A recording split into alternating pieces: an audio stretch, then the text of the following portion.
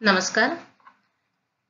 सत्र दोन हजार वीस एकवीसमध्ये सहाव्या सेमिस्टरला मानसशास्त्र विषयासाठी आपला जो निश्चित केला गेलेला अभ्यासक्रम आहे त्याविषयी आपण या व्हिडिओ ट्युटोरियलमध्ये जाणून घेणार आहोत.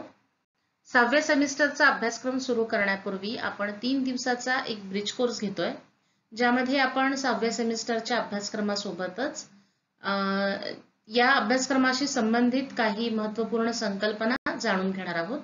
जेणेकरून सहाव्या सेमिस्टरचा अभ्यासक्रम पूर्ण करण्यासाठी आणि पुढे नेण्यासाठी आपल्याला मदत होईल. या वर्षीच्या किंवा या सेमिस्टरच्या अभ्यासक्रमामध्ये आपल्याला मानसशास्त्रातल्या दोन महत्त्वपूर्ण शाखांविषयी शिकायचं आहे एक आहे समुपदेशन मानसशास्त्र म्हणजे काउन्सिलिंग सायकोलॉजी आणि दुसरी शाखा म्हणजे सकारात्मक मानसशास्त्र जी मानसशास्त्राची अत्यंत नवीन अशी शाखा आहे ज्याला आपण इंग्लिशमध्ये म्हणू शकतो पॉझिटिव्ह सायकोलॉजी तर या दोन शाखांशी संबंधित अभ्यासक्रम आपल्याला सहाव्या सेमिस्टरमध्ये शिकायचे. सहाव्या सेमिस्टरच्या अभ्यासक्रमाच्या युनिट वनमध्ये आपण बघणार आहोत समुपदेशन मानसशास्त्राचा परिचय समुपदेशन मानसशास्त्राची व्याप्ती त्याची उद्दिष्टे समुपदेशनाची प्रक्रिया आणि समुपदेशक आणि क्लायंट यांच्यातील संबंध. काउन्सिलिंग सायकोलॉजी अर्थात समुपदेशन मानसशास्त्र ही शाखा कुठल्याही व्यक्तीला कोणत्याही व्यक्तीला त्याच्या व्यक्तिगत आयुष्यात सामाजिक जीवनामध्ये व्यावसायिक जीवनामध्ये जिथे कुठे एखादी समस्या भेडसावत असेल आणि ती सामोपचाराने समुपदेशनाने त्यामध्ये सुधारणा होऊ शकेल असं वाटत असेल तर त्या व्यक्तीला त्या समस्येसंदर्भात कशा प्रकारे समुपदेशन दिल दिलं जायला हवं? याची तंत्र कुठली? याची प्रक्रिया काय? याविषयी काउन्सिलिंग सायकोलॉजी अभ्यास करते. तर समुपदेशन मानसशास्त्राचा हा परिचय आपण जाणून घेणार आहोत पहिल्या युनिटमध्ये. त्याचप्रमाणे समुपदेशन मानसशास्त्राची व्याप्ती आपण समजून घेणार आहोत. म्हणजे या शाखेमध्ये कोणत्या कोणत्या विषयांचा अभ्यास होतो? किंवा समुपदेशनाची व्याप्ती कुठवर आहे? कुठकुठल्या क्षेत्रामध्ये कुठकुठल्या संदर्भामध्ये समुपदेशन काम करू शकतं? हे आपण जाणून घेणार आहोत. समुपदेशन मानसशास्त्राची उद्दिष्ट काय आहेत ती आपण बघणार आहोत. त्याचप्रमाणे समुपदेशनाची संपूर्ण शास्त्रीय प्रक्रिया कशा प्रकारची आहे? म्हणजे एखाद्या व्यक्तीला समुपदेशन द्यायचं असेल तर त्यामध्ये कुठले कुठले टप्पे असू शकतात. कुठल्या क्रमाने ती प्रक्रिया पुढे जायला हवी? त्यातले महत्त्वपूर्ण टप्पे कोणते? कुठली सावधगिरी बाळगायला हवी? कोणत्या चुका व्हायला नकोत? या सगळ्यांविषयी आपण या प्रक्रियेमध्ये जाणून घेणार आहोत. त्याचप्रमाणे समुपदेशक म्हणजे समुपदेशन देणारी तज्ज्ञ व्यक्ती. आणि क्लायंट म्हणजे ज्या व्यक्तीला एखाद्या समस्येसाठी समुपदेशनाची आवश्यकता आहे या दोघांमधील व्यावसायिक संबंध कशा प्रकारचे असायला हवेत याविषयी सुद्धा या युनिटमध्ये आपण जाणून घेणार आहोत. दुसऱ्या युनिटमध्ये आपण समुपदेशनादरम्यान किंवा जास्त स्पेसिफिकली म्हटलं तर मानसोपचारादरम्यान वेगवेगळी तंत्र कुठली अवलंबली जाऊ शकतात उपयोगात आणली जाऊ शकतात त्याविषयी आपण जाणून घेणार आहोत. जसं पहिलं तंत्र आहे खेळ तंत्र म्हणजे प्ले थेरपी लहान मुलांच्या संदर्भामध्ये प्रामुख्याने हे तंत्र वापरलं जातं.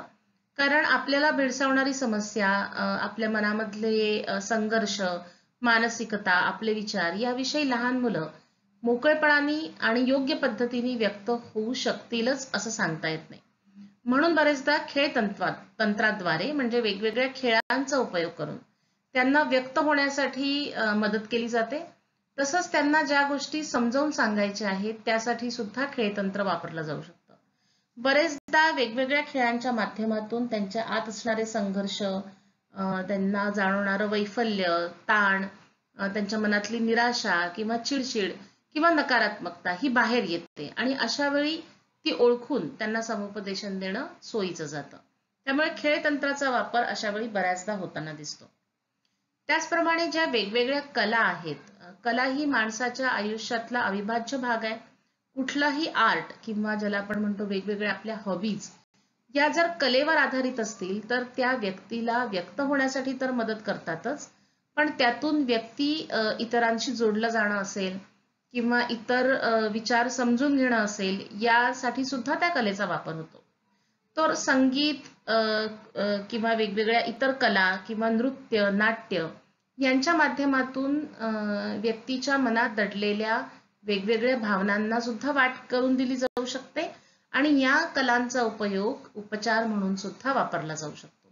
जसं मानसोपचारामध्ये आपण रोल प्ले करतो म्हणजे एखाद्या प्रसंगाचं सादरीकरण करून व्यक्ती काय पद्धतीने रिॲक्ट होते आहे याचं हे दाखवून बरेचदा आपण एखाद्या व्यक्तीला हे समजावून देऊ शकतो की चूक नेमकी कुठे होते आहे समस्या का बरं निर्माण होते तर हा रोल प्ले म्हणजे नाट्य कलेचाच एक भाग आहे. नृत्य कला किंवा डान्स थेरपी ही बरेचदा व्यक्तीला ताणतणावाचं व्यवस्थापन करण्यासाठी किंवा नवीन ऊर्जा त्याच्यामध्ये भरून यावी म्हणून वापरली जाऊ शकते. तर अशा वेगवेगळ्या तंत्रांचा उपयोग मानसोपचारामध्ये आणि समुपदेशनामध्ये केला जातो.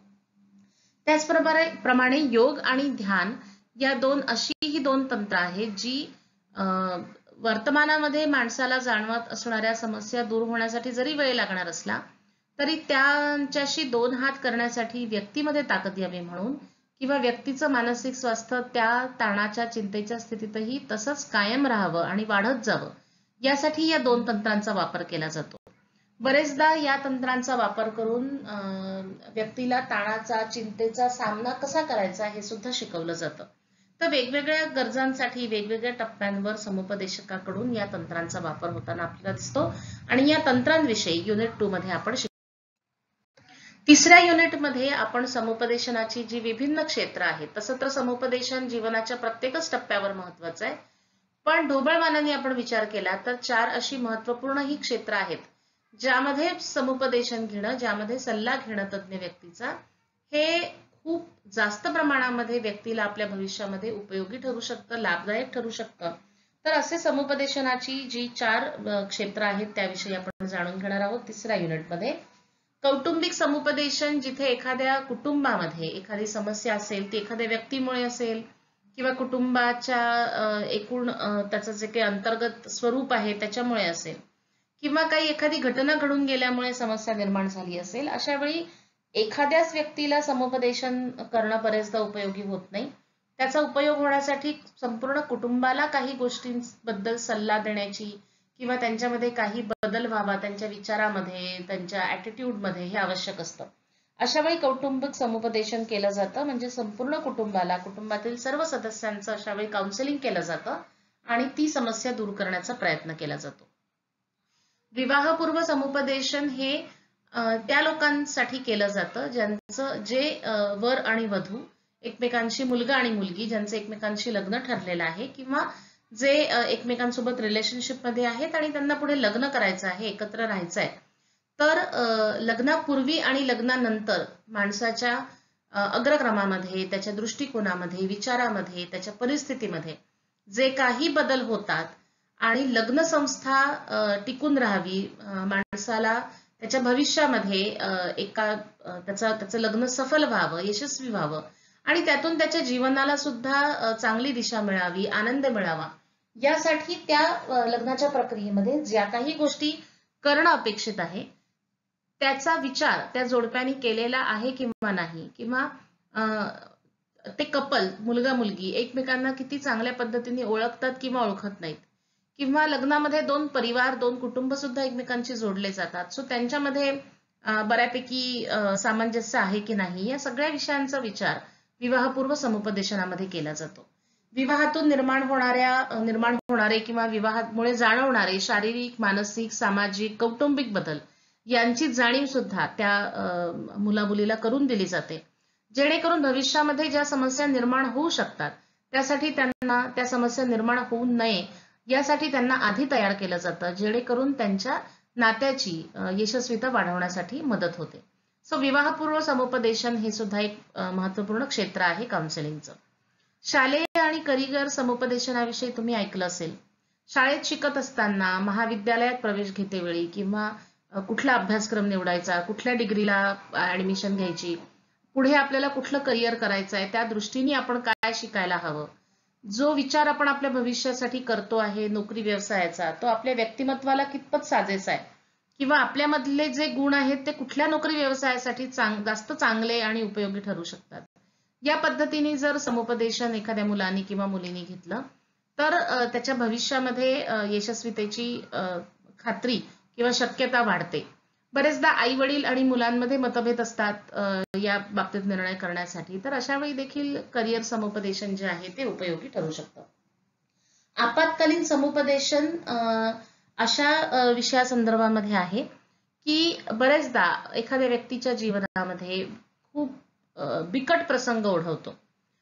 नॅचरल कलॅमिटीज असतील पूर आहे भूकंप आहे किंवा काही अपघात मोठा माणसाच्या संदर्भात होऊ शकतो. त्या व्यक्तीचा एखादा मोठा अपघात होऊ शकतो ज्यातून बरं व्हायला त्याला अनेक दिवस लागू शकतात. त्याच्यामुळे काही अपंगत्व येऊ शकतं जे की त्याच्या आयुष्यासाठी एक मोठं आव्हान असेल.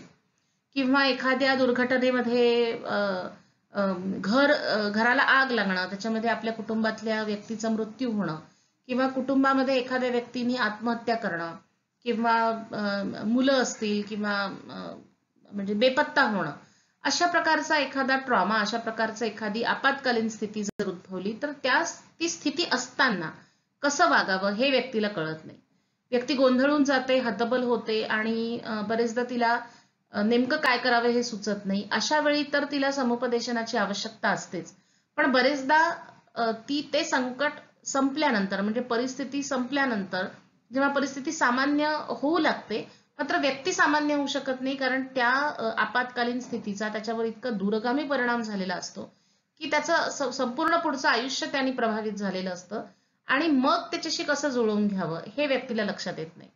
तर अशा वेळी आपत्कालीन समुपदेशन हे त्या व्यक्तीला संकटाच्या परिस्थितीतही आणि संकट परिस्थिती संपल्यानंतरही अधिक चांगल्या पद्धतीने तो जुळवून घेऊ शकेल परिस्थितीशी आणि योग्य निर्णय करून आपलं जीवन पुढे नेऊ शकेल यासाठी समुपदेशन उपयोगी ठरू शकतं.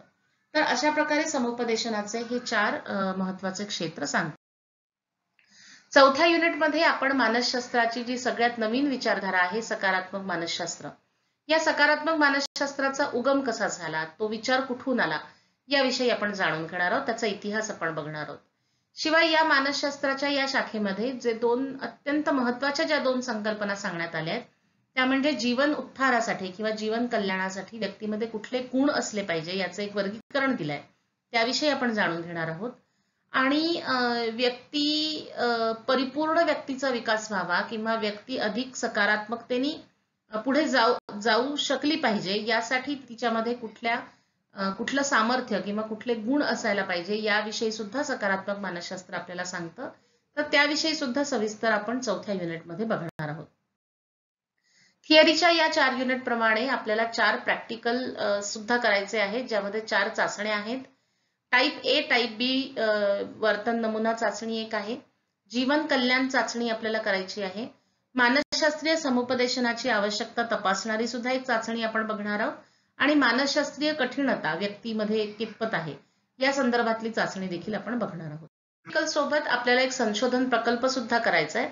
म्हणजे मानसशास्त्राशी संबंधित एखाद्या विषयाची निवड करून ग्रुपमध्ये म्हणजे सगळ्यांनी मिळून आपल्याला एक विषय निवडायचा आहे ज्याच्यासाठी आपण काही चाचण्यांच्या साह्याने काही डेटा एकत्र करू त्यानंतर त्याच्यावर स्टॅटिस्टिकल प्रोसिजर करू जे स्टॅटिस्टिक्स आपण शिकलोय त्याचा वापर करून काही सांख्यिकीय विश्लेषण करू आणि निष्कर्ष काढू की आपल्याला संशोधनातनं काय हाती लागलं. आणि त्याचा अहवाल शेवटी आपल्याला लिहायचा आहे हे या प्रकारचं संशोधन प्रकल्प ऑनलाईन मोडमध्ये सगळ्यांनी मिळून एकत्र करणं थोडंसं कठीण आहे.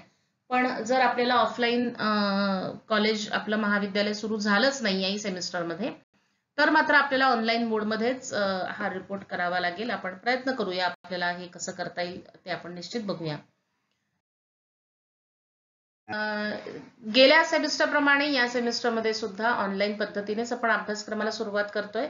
त्यासाठी सेमिस्टर सहा साठी मराठी माध्यमासाठी मानसशास्त्र विषयाची गुगल क्लासरूम तयार करण्यात आली आहे. ज्यामध्ये सगळ्या नोट्स मी अपलोड करेन. आणि तुमचं जे काही टाइम टेबल कॉलेजने दिलेलं आहे त्यानुसार त्या लिंक्स आपण व्हॉट्सअपवर आधी जसं शेअर करत होतो तशाच मी शेअर करेन. जेणेकरून सगळ्या अकॅडमिक नोट्स ज्या आहेत त्या तुम्हाला लिहून घेता येतील. त्याच्याशी संबंधित काही अवांतर वाचन किंवा काही रेफरन्स मटेरियल काही अधिक व्हिडिओ सुद्धा मी शेअर करीन. आपल्या चारही युनिट टेस्टवर युनिट्सवर आधारित युनिट टेस्ट सुद्धा आपण या सेमिस्टरमध्ये घेणार आहोत. आणि रिव्हिजन क्लास सुद्धा यावेळी घेण्याचा आपण नक्की प्रयत्न करू. तर सेमिस्टर सहाचा अभ्यासक्रम हा अशा पद्धतीचा आहे. आणि आपला हा तीन दिवसाचा ब्रिज कोर्स झाल्यानंतर आपण टाइम टेबल प्रमाणेच आपल्या पुढच्या अभ्यासक्रमाला सुरुवात करणार आहोत. धन्यवाद.